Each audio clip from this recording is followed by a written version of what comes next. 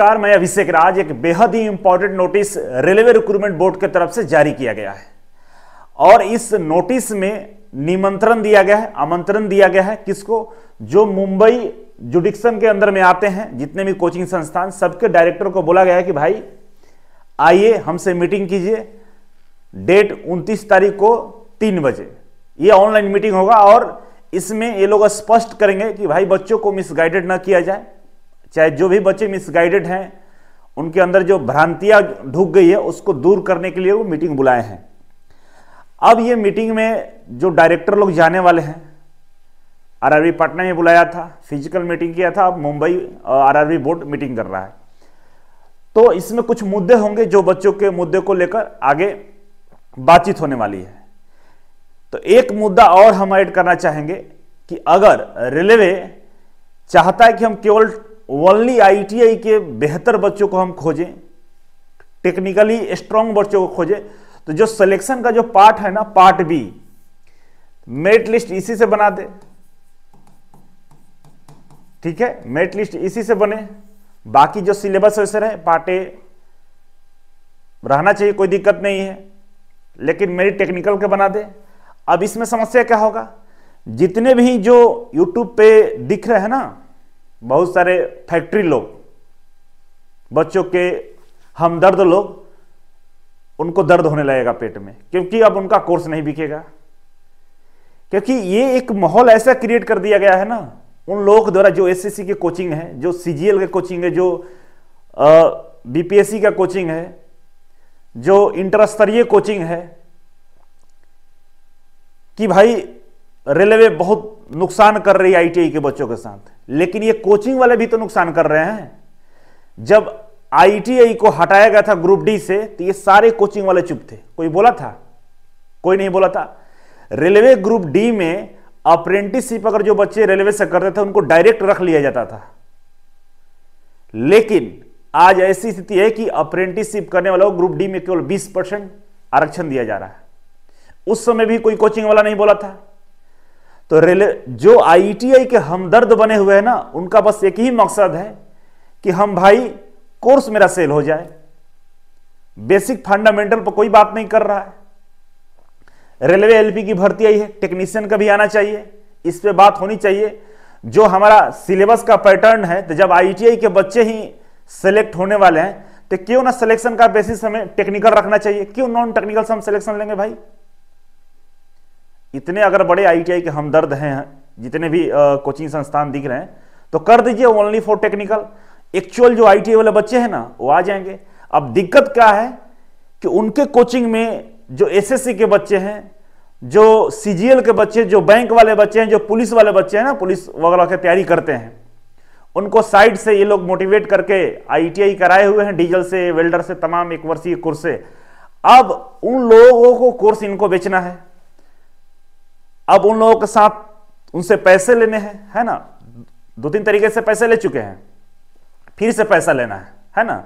SSC के लिए पैसा लिए हैं, बिहार दरोगा के लिए पैसा लिए हैं इंटरस्तरी के लिए पैसा लिए हैं, तमाम तरह के पैसे लेकर पढ़ा दिए अब रेलवे के लिए भी उनको पैसा लेना है।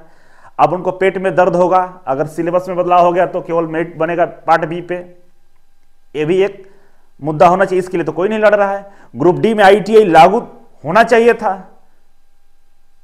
2018 में इन्हीं लोगों ने बवाल कराकर बच्चों को भड़का के आईटीआई हटवा दिया। उस समय भी आईटीआई का हमदर्द बनते घूमते थे, नहीं बने, खत्म हो गया कहानी।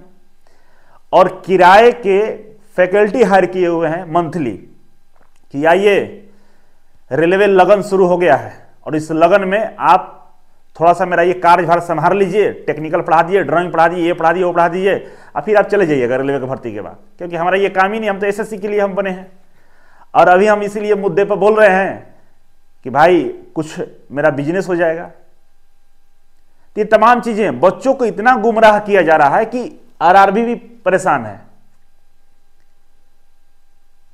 हमारी मांगे बहुत सारी है। एक एक, केवल एक मांग ये नहीं है कि वैकेंसी इंक्रीज कर दीजिए। हमारे आईटीआई के बच्चों के साथ बहुत सारी मांगे हैं जिसको सुनना पड़ेगा सरकार को भी और जो हंगामा मचाए हैं उनको भी। पहला मांग ये है कि भाई साहब, ग्रुप डी में आईटीआई को पूर्णतः लागू किया जाए और इसके लिए हर फैकल्टी को आकर बोलना है कि नहीं आईटीआई लागू होना चाहिए। अभी एक भी वीडियो किसी की तरफ़ से नहीं बनाया गया है, ना बोला गया है। ये बोलिए। दूसरा, जो अप्रेंटिसशिप पहले से जो नियम था कि अप्रेंटिसशिप जो रेलवे से करेगा, उसको ईयर वाइज हम रेगुलर करते जाएँगे। परमानेंट जॉब दे देंगे। वो क्यों बंद कर दिया गया? उसको लागू करना चाहिए। रेलवे का जो सिलेबस में बदलाव किया गया, ठीक है, बदलाव किए लेकिन सिलेक्शन का जो पैटर्न है, आप मेरिट लिस्ट केवल टेक्निकल से बनाइए ना, क्या दिक्कत है? जब आईटीआई के बच्चों को रखना है तो टेक्निकल से मेरिट लिस्ट बना सकते हैं। टेक्नीशियन एलपी के लिए मेरिट यहीं से बना लीजिए टेक्निकल में जो क्वालिफाई होगा वो आ जाएगा। जैसे इसरो डीआरडीओ बार्क में बनता है, क्यों नहीं बनना चाहिए? तीन मुद्दा हो गया, चौथा सुन लीजिए। आईटीआई के बच्चे आज इतने परेशान हैं क्योंकि आईटीआई के बच्चे किसान घर के हैं, मजदूर के हैं, गाँव के हैं, गरीब के बच्चे हैं, उनके पास पैसे नहीं है। आईटीआई वाले एडमिशन ले लेते हैं, उनको पढ़ाते नहीं है, तीस हज़ार रुपए ले रख लेते हैं सर्टिफिकेट दे देते हैं, और लोग मजदूरी करने पर परेशान है। है ना? एक एक रुपए के लिए तरसते हैं वो लोग। तो उनका, उनको, उनका आवाज़ बनी है ना भाई आईटीआई में पढ़ाया जाए। तीसरा है कि जब मान लीजिए सारे आईटीआई बच्चों को तो नौकरी मिलेगा नहीं, जो कुछ बच्चे हैं, जो प्राइवेट कंपनियों में काम करते हैं तो प्राइवेट कंपनियों की जो सैलरी का रेंज है ना, वो आठ हज़ार से लेकर मात्र बारह हज़ार तक रुपए है, ये रेंज है। और बारह हज़ार किसको मिलता है? जो बारह घंटा काम करता है। और आठ हज़ार जो आठ घंटा काम करता है। ये क्यों रहेगा भाई प्राइवेट में? प्राइवेट कंपनियाँ काम ले रही है बच्चों से, आठ घंटा, ये घर चल जाएगा इनका। नहीं चलेगा तो इनकी सैलरी बढ़नी चाहिए आईटीआई बच्चों को सैलरी कम से कम बीस हज़ार मिनिमम होना चाहिए ज्वाइनिंग और इस, इसका रेंज पैंतीस हज़ार तक पहुँचना चाहिए, जो गवर्नमेंट का नाम है भाई, उसको फॉलो किया जाए ना। क्यों भाई? तो फिर सर्टिफिकेट का वैल्यू क्या है? जब एक मजदूर को भी आठ हज़ार मिलता है आईटीआई करने वालों को भी आठ हज़ार मिलेगा तो फिर आईटीआई क्यों करेगा? इसके लिए कोई फैकल्टी नहीं बोलता, इसके लिए कोई कोचिंग संस्थान नहीं बोलता है। 2018 से लगातार हम लड़ रहे हैं, मेरे ऊपर बहुत सारे लोगों ने क्लेम किया केस किए, क्या नहीं किए, लेकिन हम बोलना बंद नहीं करेंगे। और ना किसी को बिज़नेस करने देंगे। आप अगर चाहेंगे कि आईटीआई के बच्चों को हम ठग लें बिज़नेस कर लें तो पॉसिबल नहीं है। केवल एक ही मुद्दा नहीं है कि आपका कोर्स बिक जाए। उसके लिए हम ये कर दें, वो कर दें, बहुत छह साल से बच्चे इंतज़ार कर रहे हैं। तो इंतज़ार करें तो हमको बताइए कि हर साल हर साल जो बच्चे हैं आईटीआई करने वाले, हम दिखाते हैं डेटा आपको 25 लाख बच्चे आईटीआई करते हैं। हर साल 25 लाख बच्चे आईटीआई करते हैं, जिसमें इलेक्ट्रीशियन फिटर की मिला दे तो 12 लाख के आसपास ये बच्चे हैं। हर साल 12 लाख आईटीआई के बच्चे इलेक्ट्रीशियन फिटर वाले आईटीआई करते हैं। सीट अगर पचास हज़ार भी रहेगा तो जोड़ लीजिए कि 12 लाख में से पचास हज़ार को ही नौकरी मिलेगा। बाकी एक मजदूर किसान के बच्चे, गाँव के बच्चे, क्या मजदूर ही रहेंगे बन के क्या उनको आठ हज़ार ही सैलरी मिलेगा? क्या वो बारह घंटे काम करें तो बारह हज़ार दीजिएगा। भिक्षा दे रहे हैं, काम करवा रहे हैं। आपकी कंपनी का प्रॉफिट अरबों रुपए हो रहे हैं। करोड़ों का टर्नओवर दिखा रहे हैं। और आईटीआई के बच्चे जो आपकी कंपनी का आत्मा है, रीढ़ की हड्डी है, उनको आठ हज़ार आप दे रहे हैं। कौन सा नियम है कौन सा कानून है भाई? अगर आप सच में टीचर हैं, सच में फैकल्टी हैं, सच में हमदर्द हैं आईटीआई का तो इस मुद्दा को लेकर भी उठिए ना। मुँह में दही जम जाता है आपका। ठगने का अलावा कुछ दूसरा काम नहीं है। हमने नौकरी छोड़कर बड़े बड़े ऑफ़र छोड़कर, बहुत सारी चीज़ें छोड़कर हमने आईटीआई के बच्चों के लिए काम करना अठारह शुरू किया और जमीनी स्तर पर हम काम कर रहे हैं। और उन लोगों को हम वहाँ तक पहुँचा देना, सपने में भी नहीं सोचे। इसरो में मेरे, मेरा मेरा जो स्टूडेंट था ना, चंद्रयान थ्री में भी काम किया था ईजीवे के कोचिंग का। और ईजीवे कोचिंग जाना जाता है ओनली आईटीआई के लिए। हम धनिया मिचाई और इसका जनरल स्टोर नहीं खोले कि भाई एसएससी वाले आ जाओ, दरोगा वाले आ जाओ, पंचायत सचिव आ जाओ ग्रुप डी आ जाओ एमटीएस आ जाओ, सब आ जाओ, और ऊपर से तुम भी आ जाओ, भाई आ जाओ। ये सब नहीं चलता है। ठीक है ना? एक ही चीज़ बनी। अब यूपीएससी वाले जो कोचिंग वाले हैं ना यूपीएससी वाले हैं तो भाई सही से काम करिए, बच्चों के लिए लड़िए, केवल अपना कोर्स बेचने के लिए लड़ रहे हैं। तो फिर आइए मुकाबला कीजिए, हम दिखाते हैं, आप क्या करते हैं, सब मेरे पास है। तो ये नहीं होगा, नहीं होने देंगे। और इन सब मुद्दे पे जो कोचिंग वाला साथ आएगा, तीन चार मुद्दे हम बताए हैं आईटीआई के लिए, अगर सब लोग इस पर सहमत हैं तो स्वागत है। नहीं तो आप हमदर्द बने का दिखावा मत कीजिए। प्लीज़ जिस हालात में हम लोग हैं, जिस हालात से हम लोग लड़ रहे हैं, हमें लड़ने दीजिए। बेवजह छड़िएगा, बेवजह मुद्दे को तो मुद्दा बनेगा। 2018 में जब ग्रुप डी से आईटीआई हटा था ना तो केवल अकेले अभिषेक राज यूट्यूब पे था जो विरोध किया था, बोला था कि नहीं हटना चाहिए। और बहुत सारे बच्चों को ये गालियाँ भी सुने थे। सुनेंगे, कोई दिक्कत नहीं है। खून के आँसू रोक रह गए थे, क्योंकि हमारे बच्चे थोड़ा सा गाँव से हैं। वो लोग बवाल नहीं करते हैं। वो मजदूरी कर लेगा, लड़ेगा नहीं हक के लिए, उसको जानकारी नहीं है, पढ़ा लिखा नहीं है। इसका मतलब क्या होता है? कि आप लोग आईटीआई को धंधा बना लीजिएगा।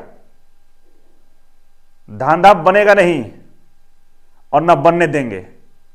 ईमानदारी के साथ रहिए और बच्चों को अगर हित की बात करते हैं तो बच्चों के हित की बात कीजिए। ये बच्चों को रेल के पटरी पर भेज कर ट्रेन रुकवा कर जेल भेजवाने का काम मत करिए। क्योंकि ये जो रेड ट्रेन रोकेगा ना रो, रो, जो पटरी पाएँगे ना उससे पंद्रह लाख बच्चों का भविष्य नहीं बदलने वाला है। पच्चीस लाख बच्चे जो हर साल आई करते हैं। भविष्य तभी बदलेगा जब सिस्टम सुधरेगा। तो सिस्टम में बहुत सारी कमियाँ जिसको इंप्रूव करना पड़ेगा उसके लिए भी आवाज़ उठानी पड़ेगी। केवल कोर्स बेचने के लिए अपना सीट बढ़ा दीजिए, कोर्स मेरा बिक जाए। आपको पता भी है क्या कि आई कितना भर्ती आता है? हर सप्ताह भर्ती आती है। सीट पचासी रहता है, किसी में दो सौ रहता है, तीन सौ, साल में तो सौ भर्तियाँ आती है। पता तो है नहीं आपको। पढ़ाना तो है नहीं किसी को। वो बुलाए हैं ना? किराए पे जो फैकल्टी, जो पढ़ा के चला जाएगा एलपी का, इसके बाद तो खत्म। हो गया आपका आंदोलन खत्म। कोर्स बिक जाए ना, आप ही चुप हो जाइएगा। तो बात ऐसा है बाकी नोटिस के बहाने मुझे बहुत दुख होता है। बहुत दिन से हम बर्दाश्त करके बैठते अब ये लोग चुप हो जाए, अब चुप हो जाए। बच्चों का पूरा मूवमेंट को बदल कर रखे, बच्चे परेशान हैं क्या करें? फॉर्म नहीं भरना अभी हम कहेंगे तो फॉर्म भरना। बस रेलवे के अलावा कोई भर्ती नहीं आईटीआई में। बस यही रेलवे एक भर्ती है। शर्म के भी हद होती है। भर्ती तो कम है इस बात को हम भी एक्सेप्ट कर रहे हैं होना चाहिए लेकिन सारे मुद्दे पर सामने आइए ना। बीएसपीसीएल के लिए ट्वीट किए थे बीएसपीसीए के लिए हम लोग कई बार बोर्ड मीटिंग में जाकर मिले भी बोले भी ट्वीट भी किए क्यों नहीं आए सामने आप लोग? को, कोई नहीं आया बस हो गया। रेलवे ग्रुप डी के लिए कोई नहीं आया अप्रेंटिसशिप के लिए कोई नहीं आया। जहाँ कोर्स बिकेगा वहाँ हम आएँगे हम ना कोर्स बिकेंगे मेरा कोर्स नहीं बिक रहा इसलिए हम आ रहे हैं रोड पे। चलिए ठीक है। बाकी आगे देखते हैं क्या होता है। बाकी पढ़ाई आप लोग जारी रखिए और इस सब चक्रों में नहीं पढ़िए। संवैधानिक तरीके से जो भी करना है, जो भी मांगे आवाज़ उठाइए। बाकी आईटी में बहुत सारी कमी है, जिसको सुधारना होगा हमें और इसको आगे लेके बढ़ना होगा। थैंक यू सो मच मिलते हैं अगले वीडियो में।